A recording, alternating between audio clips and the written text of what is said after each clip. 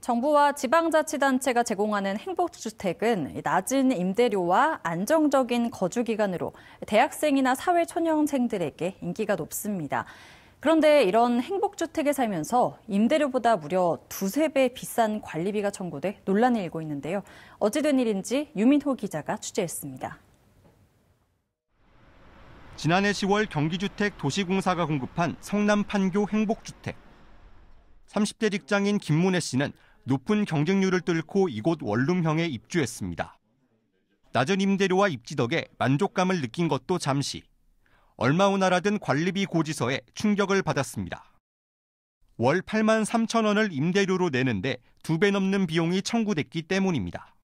괜히 집에서 나왔나라는 생각도 들고 괜히 호기롭게 이제 부모님한테도 이제 독립하겠다 하고 너무 즐거운 마음으로 나왔는데 좀 관리비를 보고 아 이거 내가 잘못 생각했구나.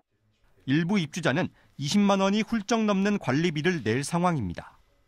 해당 내용이 알려지자 공공임대 인터넷 커뮤니티에는 의아하다는 반응이 잇따랐습니다.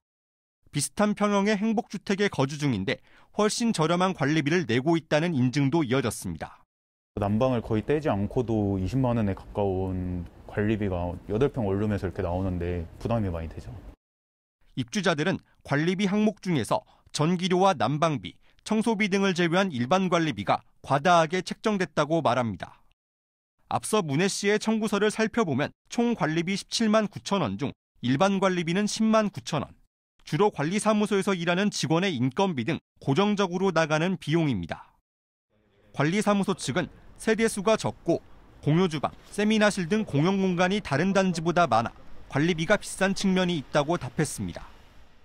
다른 단지 같은 경우에는 전기 대행 업체를 주고 있지만 저희는 이제 상주해야 되는 안전관리자가 있어야 돼서 그래서 그분이 전기 선임은 물론 각종 단지 내 설비 업무를 다 보시고 경기주택 도시공사는 향후 임차인 대표 회의가 구성되는 대로 단지 시설에서 수익을 창출하는 등 관리비 절감 방안을 협의하겠다고 밝혔습니다.